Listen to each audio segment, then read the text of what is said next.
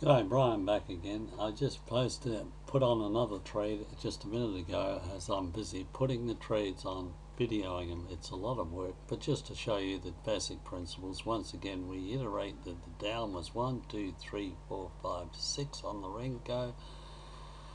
Uh, we would hope to get 6 on the upswing and we've uh, just re uh, just recapping on the last video we took that small one off just to show you the trade because we're waiting and it's hard doing this in, in videos in real time but it gives you an idea.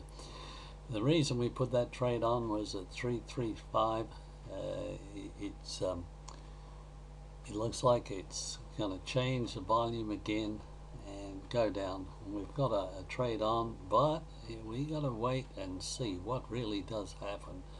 As the trend is currently up on that uh, line. It's it's gone into one up and it fulfilled our, our last requirements there of the downtrend it's a higher down. And looking at here we got a higher high and a, a higher low as you can see there. We have a higher high higher low which is also an indication that the trend is is going up. We are looking at the uh, the, charts here and the Australian dollar is still uh, higher than the US dollar. The US dollar as you can see that's going the right way. Well and this is continuing up. So we are looking at an up and you're looking at uh, achieving three four five maybe six on the up. Will it break the previous high? That's the next thing you've got to look at.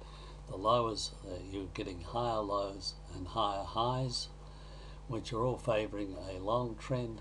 Your buy volume is 13, which is not a great buy volume. See it's switching and changing. The volatility is extremely high. As I mentioned before, this is not a market for trading in big lots, trading your smallest lot size, taking small scalps, accessing your risk as your bottom line level as an example for a stop loss or just below the, um, the resistance here as a stop loss. You're looking at trading small pips, you're looking at trading a higher interest currency on a buy and you can do sells if the market dictates for you to do a sell then it's your choice.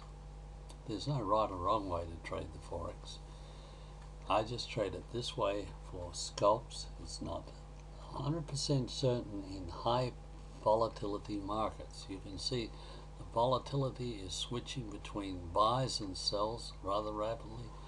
You're going from loss, profit, loss, and we're looking at if we can turn this around and keep continuing on with the, the higher highs and the lower lows and looking at these numbers and looking at the count here too, we should, if this works out alright, we should continue up with the blues, but Renkos. So we had the one, two, three, four, five, six, as there is a market intervention by the governments, banks, etc.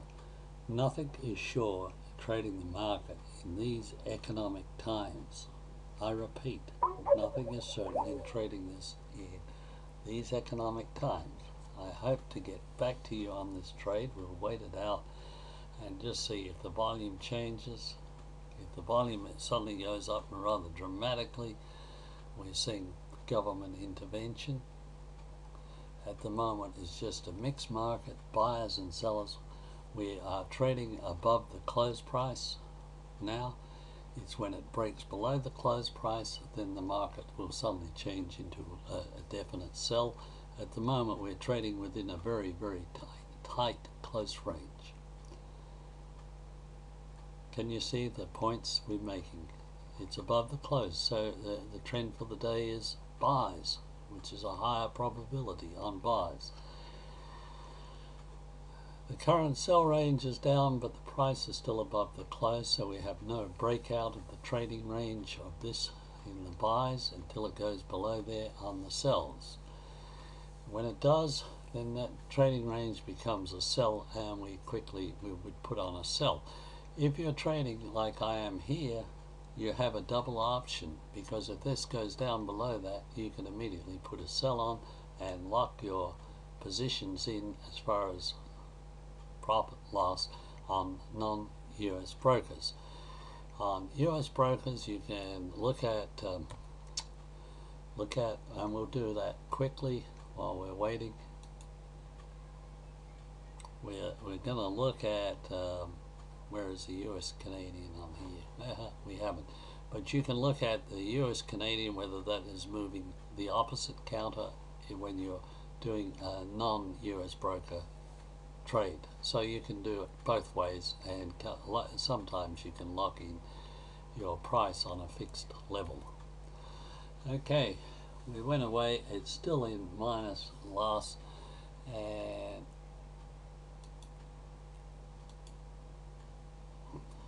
and we're back on the on the chart.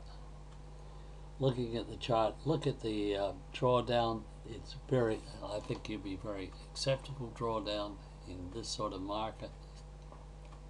Minus eleven point eight one dollars on a five thousand account is hardly risking a lot of money. And we're trading, just trading in a tight market, trading very a very dangerous market to be in if you're putting a lot of money in. Of course, 0.1 lots would also be acceptable in this market, and uh, you can certainly lock in your profits, lock, lock in your loss, so that on here was pointing at an up market. If the sudden volume changes rather dramatically, the volume is going up at the moment. It's 8:38 p.m. in uh, in Adelaide, and it's quarter to one in Poland. So we're just sitting here waiting and we, we don't, as you can see, we're locked in a tight range. It's not going to go, if it breaks through here, we're going to be on a short. You can immediately on a non-US broker put a short in and lock in two positions either way.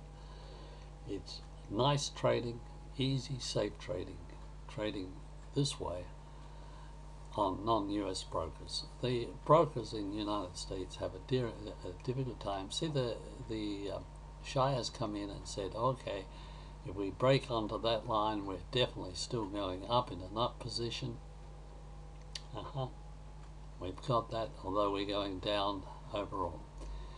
In the four-hour position, we're going down. In this minute, we're going up. We're heading, looking like going up We've still got two blue, so we've got no reason to change. It hasn't dropped down below the red, so we're not going to put a, a sell on to counter the long hedge.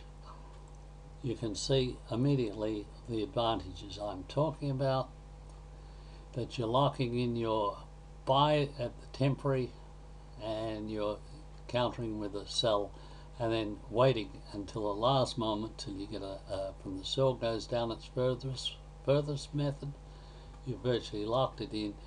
You then can plop in, uh, trade your what you take your profit, and then watch your buy start to move up when it goes into the blue again. So it's a continuous cycle of buy, sell, buy, sell on non-US brokers. On US brokers, I look at counter trends, uh, currencies that match your current trade thing and when they go counter to what you are you have a locked in price. Okay uh, I can't wait. This is just a quick example and we're waiting for this to go into a plus or if it goes it uh, breaks the close of the day we're going to put in a sell then we have a sell and a buy on and we watch the sell go right down and the buy stays on. Okay Bye for now from Brian. God bless.